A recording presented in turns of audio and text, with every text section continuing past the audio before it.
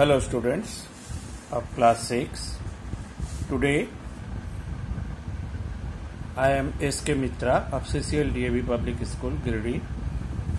I will deliver you a lesson in science from chapter 3. Now students you open your book and very carefully listen what I am saying. Okay? Now see students, chapter 3, the name of the chapter is Nature of Matter. Okay. First of all, we will understand what is a matter. Now matter is a substance which has mass and which occupies some space. Now, whatever things we see around us, all are matter. and they are different in shape, size, colors, and properties.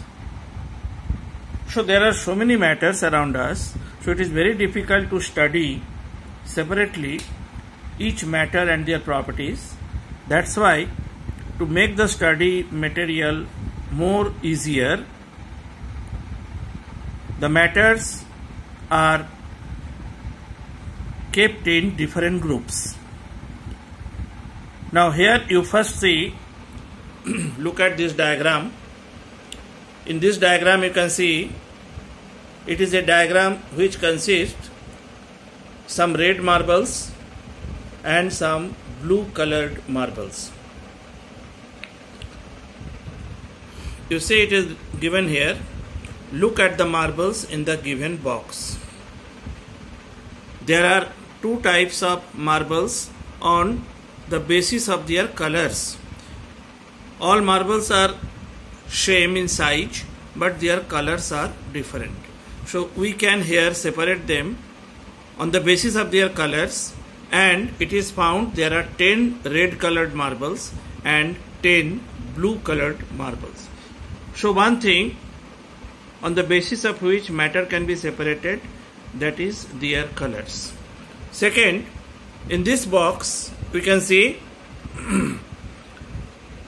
that it is shown uh, another diagram in which uh, only blue colored marbles are shown but here the marbles are in different sizes some are smaller some are bigger so here we will discuss the properties of matter on the basis of their sizes. So there are once again 10 small marbles and 10 uh, big marbles are there but all are blue in color. Third, now consider the following set of materials. Now here some name of mat matters are given, some materials are given like wood, water, glass, tumbler, steel plate, milk, plastic bucket, kerosene. These materials are either naturally obtained or it is prepared by man. So first of that means materials which we see around us they can be uh, divided into two groups. One those materials which are naturally found and another those which are prepared by man. So here you see one table is given. In this table there are uh, two, uh, two tables, one for natural materials, another for man-made materials. So whatever names are given above, you can just write their names separately in natural as well as man-made materials. For example, the first one is wood. So students, wood is what kind of material? Everybody knows it is natural material because wood we obtain from plants. So wood we will write in the table of natural material. Then water, another natural material. Air, natural material. Glass tumbler, it is made by man. So it is man-made material. In this way, we can arrange the materials into different groups. In this way, when we separate the materials in different groups, this is called classification. Okay. Now we will see matter. Matter, already I told, it is the substance which has mass and which occupies space. Now matter around us is found in different states. What are these different states? These states are solid, liquid and gaseous state. For example, if we talk about a piece of stone, it is a matter. What is its state? It is solid. Now if we talk about water, then it is another matter, but its state is liquid. And third, suppose air. If we talk about air, which is also another matter, but it is in gaseous state. So matter is found in either in solid or in liquid or in gaseous state. Now here another uh, table is given in which you have to write five examples each of solids and liquid as well as gaseous matter. So you can write it of your own. Whatever matters uh, you can find around you in your house. You write their names whether uh, some five names of solid five names of liquid matter and five names of gaseous matter. Next constitution of matter. Constitution means a matter is made up of which kind of particles? All matter is made up of very small particles. Okay? All matters are made up of very small particles. Different states of matters have different arrangement of these particles. And in a matter the particles are present in different states in different position. For example if the matter is solid the particles are present in a different fashion. If it is liquid its presence is different and if it is gas the particles are present in different state different position. Now here we see these red colors circles. These are these circles are the particles.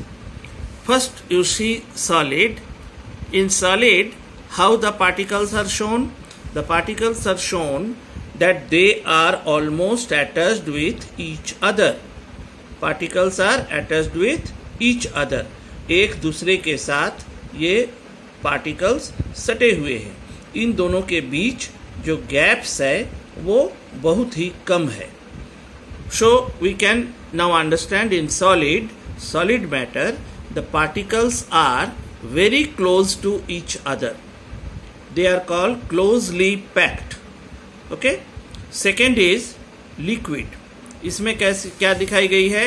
कि particles एक दूसरे से सटे हुए नहीं हैं, बल्कि उनके बीच थोड़ी थोड़ी गैप्स हैं थोड़ी थोड़ी जगह हैं। So in liquid we can see in liquid matter the particles are not closely packed but they are slightly away from each other third is gas in gas what is shown इसमें particles एक दूसरे से ज़्यादा दूरी पर है, यानी दोनों के बीच पार्टिकल्स के बीच गैप्स काफ़ी ज़्यादा है। So in gaseous matter the particles are very far away from each other और इसी डिफरेंट पोजिशंस के कारण सॉलिड मैटर जो होती है, उसकी एक डेफिनिट शेप होती है डेफिनिट वॉल्यूम होती है। जैसे अगर हम एक स्टोन का टुकड़ा को लें तो स्टोन की जो पीस है, वो उसकी आकार डेफिनेट होगी, उसको हम बदल नहीं सकते, और उसकी जो वॉल्यूम होगी, वो भी फिक्स्ड होगी। सेकेंड लिक्विड चूँकि इसमें कुछ गैप्स हैं तो लिक्विड मैटर की जो वॉल्यूम है, वो फिक्स्ड है but its shape is not fixed liquid को अगर हम ग्लास में रखते हैं तो वो ग्लास की शेप ले लेती है। उसी लिक्विड को अगर हम एक प्लेट में डाल देते हैं तो वो प्लेट की शेप ले लेती है। यानी वो फिक्स्ड नहीं है। Third is gas in gaseous state matters neither have uh, fixed nor have fixed volume क्योंकि इसमें मॉलिक्यूल्स काफ़ी दूर दूर है इसलिए इसकी शेप भी चेंज हो सकती है। इसकी वॉल्यूम भी चेंज हो सकती है। तो these are the three states of matter now we will discuss about properties of matter matter की प्रॉपर्टीज़ में सबसे पहले आती है एपियरेंस एंड फिल एपियरेंस का मतलब होता है कोई भी मैटर दिखने में कैसा लगता है। हाउ इट लुक्स और फिल मतलब अगर हम उसको छूते हैं तो छूने पर हमें क्या महसूस होती है? तो students you see here return materials are known to differ from one another in terms of their appearance. Materials अलग अलग होते हैं उसकी एपियरेंस पर। कैसा वो दिखता है उस पर? एपियरेंस किस तरह की होती है? लस्चरस एंड डल लस्चरस का मतलब उसमें कोई चमक हो तो विच इज़ कॉल्ड लस्चरस और अगर इस पर कोई चमक ना हो तो वो कहती है, कहलाती है डल एपियरेंस जैसे अगर हम एक मेटल के टुकड़े को देखें तो उसमें एक चमक होती है तो इट इज़ कॉल्ड लस्चरस लेकिन हमारे एक पत्थर को देखें, उसमें कोई चमक नहीं होती है तो उसकी अपियरेंस डल कहलाती है. सेकेंड इज़ फिल छूने से वो कैसा दिखता है? कैसा लगता है? सॉरी जैसे अगर हम एक पत्थर को टच करते हैं तो वो रुखड़ा लगता है. So its feel is rough लेकिन हम अगर एक ग्लास के सरफेस को छूते हैं, एक पॉलिश्ड मार्बल को छूते हैं तो कैसा फील होती है हमें? इट इज़ स्मूथ वो चिकना होता है। तो उसकी जो फील होती है, वो आइदर स्मूथ या रफ होती है। ठीक है? तो पहली प्रॉपर्टी है कि मैटर की एपियरेंस और दूसरी उसकी फील, ओके? नाउ इसे one activity is given activity two जिसमें थिंग्स कुछ चीज़ों की नाम है, कुछ मटेरियल्स की नाम है। सेकेंड स्मूथ और रफ क्या उसकी सरफेस स्मूथ है या रफ है? और दिखने में वो कैसा लगता है लस्चरस या डल तो two names are given polished marble चूँकि ये स्मूथ होता है तो we will write here smooth और लस्चरस और dull so it is lustrous sandpaper rough और सैंड पेपर यानी सरीज का पत्ते, जिससे हम लकड़ी वगैरह को घिसते हैं, उसका लुक कैसा होता है? डल इसी तरह से हम और दो नाम लिखेंगे और उसके टच के बारे में लिखेंगे कि कैसा वो हमें फील होती है और सेकंड वो दिखता कैसा है? Next property is transparency transparency क्या होती है? कि अगर I am giving you an example कि सपोज़ हम आ, घर में एक बल्ब जल रही है और हम एक बुक को या एक लकड़ी के टुकड़े को अपनी आँखों के सामने ले आए तो can you see the bulb तुम्हें बल्ब दिखाई देगी। लकड़ी को अगर आँख के सामने रखेंगे so everybody will say no bulb हमें दिखाई नहीं देगी. क्योंकि वो लकड़ी एक ऐसी मटेरियल है जिससे बल्ब की लाइट पार नहीं हो सकती है। अब अगर हम एक ग्लास शीट शीशे के एक टुकड़े को आँख के सामने लाएँगे और बल्ब की तरफ़ देखेंगे now can you see the bulb everybody will say yes we can see the bulb तो क्यों बल्ब को देख पा रहे हैं क्योंकि ग्लास एक ऐसी मटेरियल है जिससे बल्ब की रोशनी बल्ब की लाइट पार हो सकती है तो मटेरियल्स दो तरह के होते हैं one through which light can not pass another through which light can pass. Now, on the basis of these two, materials are divided into two groups. Okay? Uh, यहाँ पर भी तुम्हारी बुक में एग्जाम्पल्स uh, दी गई है एक में एक ग्लास की बॉटल, ग्लास की एक बीकर रखकर आगे में एक कैंडल जलाकर उसे देखी देखी जा रही है। तो हम उस कैंडल को देख पा रहे हैं। और दूसरी बार क्या रखा है? कैंडल के सामने एक बुक या एक पीस ऑफ़ वुड और फिर कैंडल को हम देखने की कोशिश करें तो कैंडल नहीं दिखती है। तो यानी पहली वाली जो मटेरियल है उससे लाइट पार हो रही है, दूसरी वाली से लाइट पार नहीं हो रही। So the material through which light can pass they are called transparent material okay means glass is a transparent material and the material through which light can not pass they are called opaque material opaque so wood is an opaque material अब दूसरी property है floating sinking floating का मतलब है कि तैरना किसी liquid के ऊपर।